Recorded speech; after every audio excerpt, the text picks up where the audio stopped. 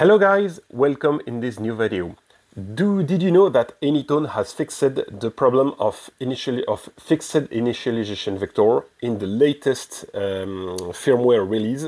This is the um, version 3.03. I will show you the number here.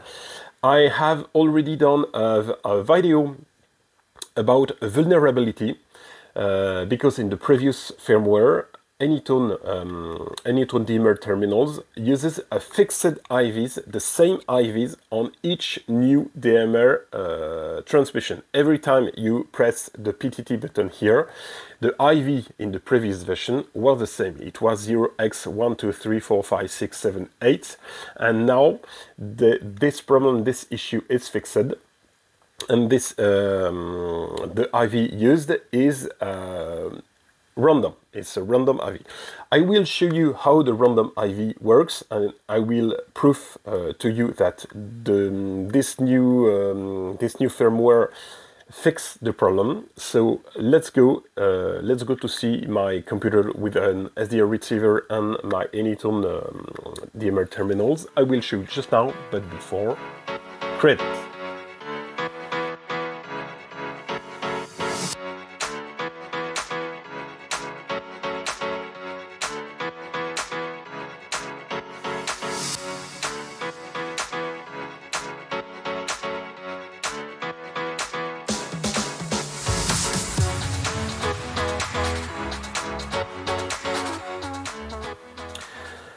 Okay, let's go for the demonstration. Here I have launched SDR Sharp and MyDSD. MyDSB is especially used here to display the IVs, the initialization vector. Let's make a small test in clear mode. There are no encryption here. Test in clear mode, one, two, three. Okay, test in clear mode is perfect.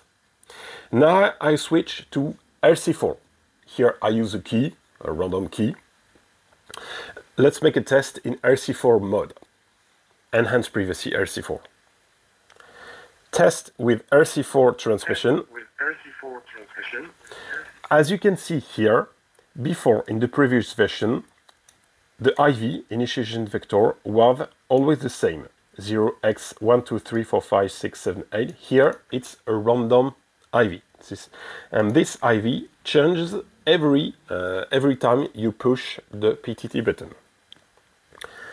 Test RC4 number two. RC4 number two. As you can see, the new IV here changes. And we can see we are in encrypted ARC4 Anytone encrypted. Test RC4 number three. RC4 number three. and as you can see here, this is a random IV different from this one and this one. Now let's switch to AES mode. AES. Test in AES mode encryption. Encryption. Okay, let's analyze the PI header here. The PI header is the first DMR frame uh, sent with IV just before the, um, just after the um, voice header and just before the first voice superframe. So here, PI header, algorithm ID is 0x05. This is the Anytone, um, Anytone encryption, AES 256 bit. And as we can see, the IV here is different from the previous one.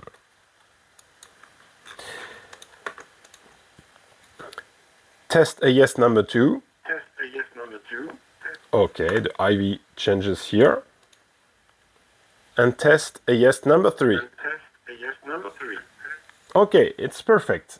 The IV changes every time. So the new firmware, the version 3.03, fix the uh, issue uh, and the vulnerability inside the encryption so you can use it. Uh, you, you, are now uh, secured when you use the Anytone uh, encryption with RC4 and AES 256 bit. This is the end of the, this uh, video, so just thanks for watching and see you soon on the next video. Bye bye.